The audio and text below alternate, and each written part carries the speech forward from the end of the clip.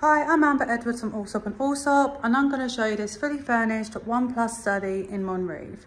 So first come in, you have the powder room for your guests and then you have the living and dining area which also has access to the balcony.